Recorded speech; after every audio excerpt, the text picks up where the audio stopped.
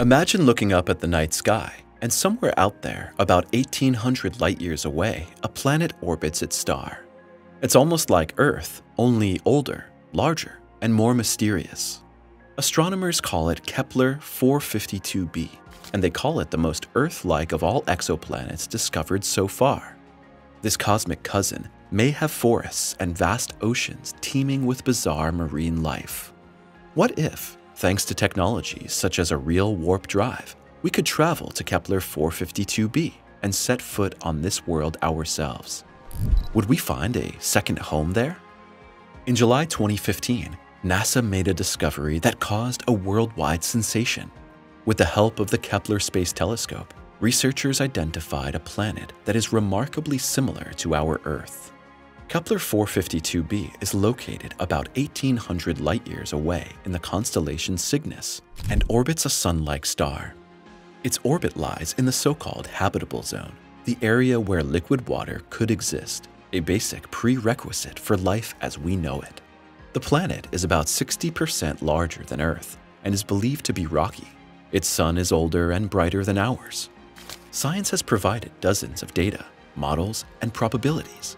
All in all, our world and Kepler 452b share a surprising number of characteristics. But what does that really mean? Could life exist there? Or are we even dealing with a second Earth? Beyond the facts and figures, the imagination begins. What would we see, hear, and feel if we could land there? What would an expedition to visit this distant twin look like? And could we ever survive outside Earth? The search for a second Earth. Are we alone? Is there a place out there that resembles our Earth, with water, air, maybe even life?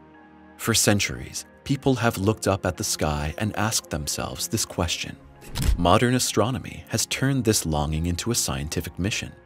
With the launch of the Kepler Space Telescope in 2009, a whole new era of exoplanet research began, and Kepler 452b was one of the most spectacular discoveries of this mission. The goal was to discover all planets outside our solar system, and in particular, those located in the habitable zone of their stars.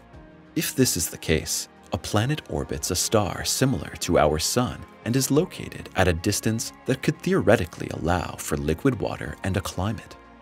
Earth-like planets are rocky worlds and have a diameter similar to our world, or a diameter that matches its star and distance from it.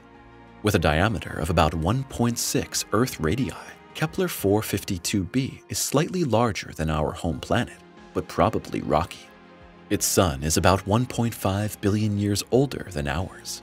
That's good, but when it comes to temperature, atmosphere, magnetic field, and exact chemical composition, it gets more difficult.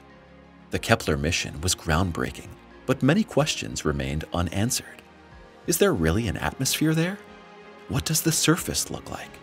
Is there tectonic activity or even biological traces? It is only since the launch of the James Webb Space Telescope that we have had the latest technologies at our disposal that can better represent parameters such as water vapor, temperatures, and surface conditions. Fictional Landing Kepler Expedition The journey to Kepler 452b begins with a gentle jolt. After decades of research and preparation, we take off on one of the first interstellar flights. We don't launch from a launch pad, but from a gigantic area of space-time distortion somewhere in the California desert. No sooner has the jolt traveled through the spacecraft than a constant humming begins and shortly thereafter, we reach the orbit of Kepler 452b. The flight through the space-time fold was a stone's throw.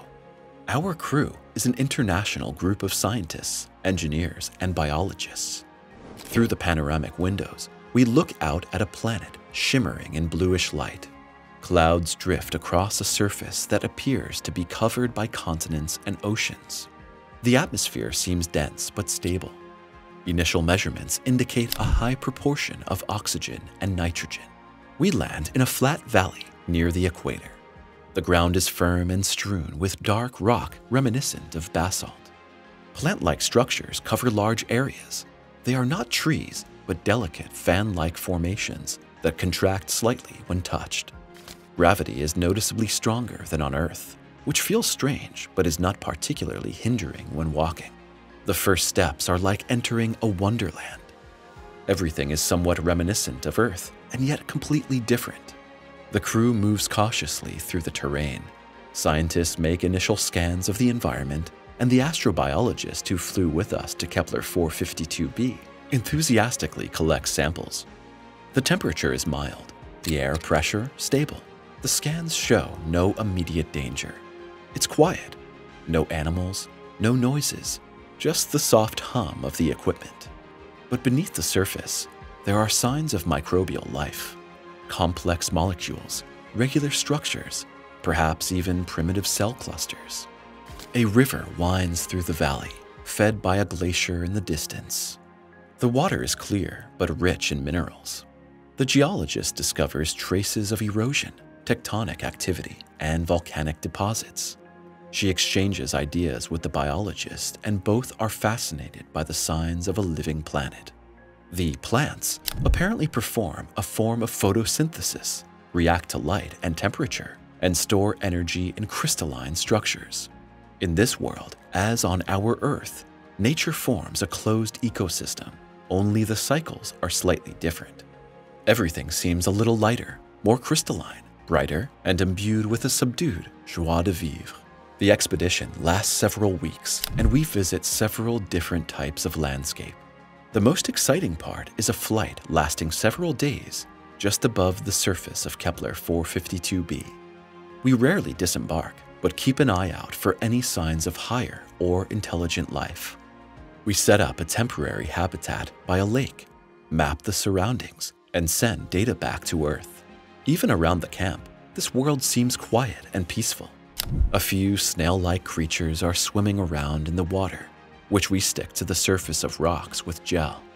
The biologists collect some of the animals and they will travel back to Earth with us. At the end of the mission, one thought remains. Kepler 452b shows no signs of higher life forms, but it's a self-contained, perfect, diverse, and friendly world. Can we claim Kepler 452 for ourselves? The journey to Kepler 452b is fictional, when it will be possible is written in the stars. Some researchers believe that we will have our first warp drives in around 20 years. It may take another 100 years before space travel is possible. If we really want to set off for worlds like Kepler 452b one day, we'll need much more than just safe spaceships. We need maps of the universe as it really is. A planet spotted 1800 light years away from Earth has already traveled 1800 years in real time. With our telescopes, we only ever see the past, light that has traveled an incredibly long way through time and space. If we ever manage to visit distant worlds, we will have to consider whether we can simply invade these worlds. Exoplanets such as Kepler 452b must also teach us humility. Space and distant worlds do not belong to us, and our mere presence could cause disturbances. Such journeys would not be without danger for us as humans either. We would probably first send unmanned drones and greeting messages to possible destinations in space before venturing there ourselves. Once we have found Earth 2, the question remains whether we want to colonize this world or not. Would we really use a new start on another planet to evolve as a species? Or would we repeat the same mistakes we made on Earth? Humans an interstellar species? Imagine that one day, humans colonize several Earth-like planets. We may also have made contact with other life forms similar to us. Many philosophers and astro researchers are certain that humanity will one day venture into space. It's very likely that our space travel will still be linear and in line with the old scientific standards.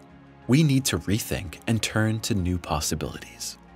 It would be pure utopia to think that we could travel through the universe in spaceships for centuries or millennia. It would take us years just to reach the nearest star system, and our bodies would probably not be able to withstand this kind of travel through space-time. Some visionaries say that we have simply made errors in our thinking so far. The possibility of warp bubbles in the nanoscale shows that space travel is possible by simply stretching space-time and then slipping through folds. Distances in the old standards would then no longer play such a big role, and our bodies would most likely experience very little stress. If we succeed in this, we could travel through space on planes and lines that could potentially be the gateway to many new worlds. No one yet knows how many Earth-like planets there are in the universe. We don't even know how big the universe really is. Statistics assume at least 30 exact Earth twins in the Milky Way, and there could be hundreds or thousands throughout the universe. Added to this are remotely similar planets or rocky worlds that are completely different. If our Earth becomes uninhabitable one day, and it surely will, we will have to move elsewhere. When exactly that will be the case varies between a few thousand years and 100,000 years.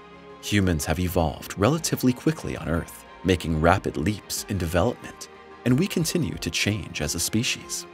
There is probably no limit, and if we follow the vision of Russian astronomer Nikolai Kardashev, we will inevitably evolve into space. Perhaps that was even our destiny from the beginning. To this day, we still don't know where we came from. Is it really true that we evolved from apes into modern humans? Many scientists doubt this, and some are even bold enough to say that extraterrestrial influence cannot be ruled out. Hundreds of UFO sightings every year and the zoo hypothesis tell the story of a colorfully populated space and a humanity that is either systematically kept in the dark or preferred to be avoided by other species. If we believe Kardashev's ideas, we need to evolve a little further, become more peaceful, and clean up and improve our technologies. Then other species will also contact us and come within our reach. Click subscribe now. We're constantly publishing new videos.